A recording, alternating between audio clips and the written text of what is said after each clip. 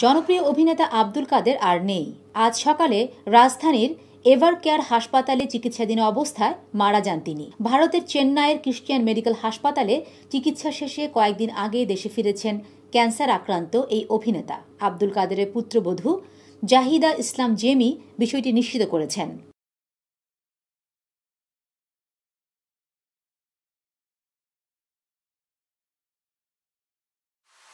বিশ্বে করোনা আক্রান্তের সংখ্যা আট কোটি পেরিয়ে, বিশ্বে প্রাণঘাতী করোনা ভাইরাসে আক্রান্তের সংখ্যা আট কোটি এক লাখ ছাড়িয়েছে। এ পর্যন্ত মৃতের সংখ্যা সতেরো লাখ ছাপ্পান্ন হাজার ছাড়িয়েছে।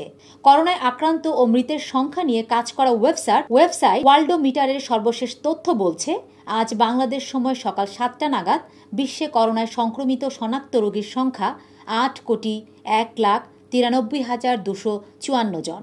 একই সময় পর্যন্ত করোনায় মারা গেছেন সতেরো লাখ ছাপ্পান্ন হাজার নশো আটত্রিশ জন। করোনা ভ্যাকসিন নিলেন সৌদি যুবরাজ। সৌদি যুবরাজ মোহাম্মদ বিন সালমান করোনা ভাইরাসের ভ্যাকসিন নিয়েছেন। দেশটির স্বাস্থ্য মন্ত্রণালয়ের নেওয়া করোনা টিকাদান কর্মসূচির অংশ হিসেবে যুবরাজকে প্রথম ভ্যাকসিন দেওয়া হয়।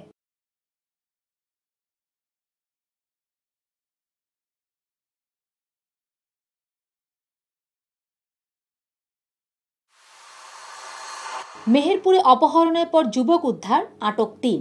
মেহেরপুরের গাংনিতে অপহৃত উজ্জ্বল হোসেনকে উদ্ধার করেছে পুলিশ। অপহরণের তিরিশ ঘণ্টা পর গতকাল বৃহস্পতিবার চব্বিশে ডিসেম্বর দিবাগত রাতে উপজেলার তেরাইল এলাকা থেকে তাকে উদ্ধার করা হয়। এ ঘটনায় জড়িত অভিযোগে জিজ্ঞাসাবাদের জন্য তিনজনকে আটক করেছে পুলিশ।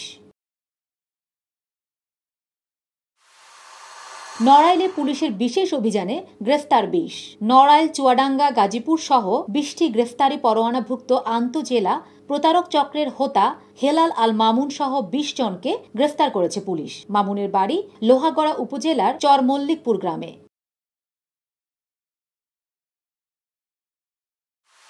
ইসরায়েলের সঙ্গে ভালো সম্পর্ক চায় তুরস্ক, বলেছেন এরদোয়ান। তুরস্ক ইসরায়েলের সঙ্গে ভালো সম্পর্ক চায় বলে মন্তব্য করেছেন তুর্কি president Recep Tayyip Erdogan.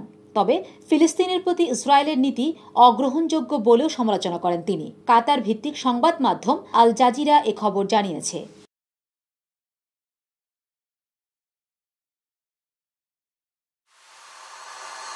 Saudi আরবের আগ্রাসানে ইয়েমেনে তিন হাজার আটশো শিশু নিহত। সৌদি আরবের আগ্রাসান ও অবরোধের নির্মম শিকার হয়েছে ইয়েমেনের লাখো শিশু। ইয়েমেনের স্বাস্থ্যমন্ত্রী তাহা তাহা মোতাবাক্কাল জানিয়েছেন, সৌদি নেতৃত্বাধীন জোটের বর্বর আগ্রাসানে এ পর্যন্ত ইয়েমেনের তিন হাজার আটশো শিশু নিহত হয়েছে। এছাড়া সৌদি আগ্রাসনের কারণে চার লাখের বেশি শিশু মারাত্মকভাবে অপুষ্টিতে ভুগছে, যাদের জরুরি ভিত্তিতে বিশেষ যত্ন নেওয়া প্রয়োজন। আবাসিকে আর গ্যাস সংযোগ নয়। কয়েক বছর ধরে আবাসিক গ্যাস সংযোগের জন্য অপেক্ষমান আছেন লাখ লাখ গ্রাহক। অনেকের আবেদনের ভিত্তিতে ডিমান্ড নোট ইস্যু হওয়ার পর বিপরীতে তারা সংশ্লিষ্ট ব্যাংকে টাকাও জমা দিয়েছেন এবং দেরিতে হলেও একসময় গ্যাসের সংযোগ পাবেন, কিন্তু সরকার আর কখনো আবাসিক খাতে নতুন করে গ্যাস সংযোগ দেবেন না বলে সিদ্ধান্ত নিয়েছে। একশো বলের টুর্নামেন্টে champion Mymensingh Riders Walton M P L Mymensingh Premier League champion হয়েছে Mymensingh Riders. Mymensingh Masters cricket অ্যাসোসিয়েশনের উদ্যোগে আয়োজিত একশো বলের এই টুর্নামেন্টের ফাইনালে ময়মনসিং থান্ডারকে আট উইকেটে হারিয়েছে ময়মনসিং রাইডার্স।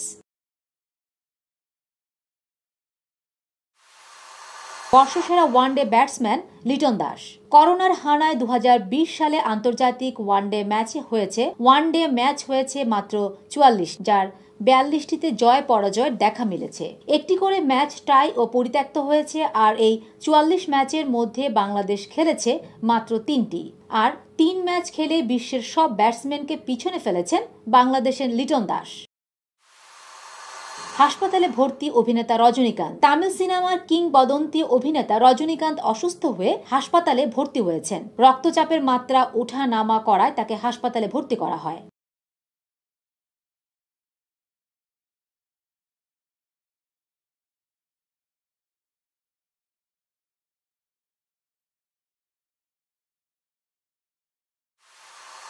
মাইকেল জ্যাকসনের বিশাল বহুল বাগান বাড়ি বিক্রি। অবশেষে দুই কোটি বিশ লাখ মার্কিন ডলারে বিক্রি হয়ে গেল পপ সম্রাট মাইকেল জ্যাকসনের বিলাস বহুল বাগান বাড়ি। ক্যালিফোর্নিয়ায় অবস্থিত নেভারল্যান্ড রাঞ্চ নামের বিশাল বাগানটি কিনে নিয়েছেন জ্যাকসনেরই বন্ধু রন বার্কল।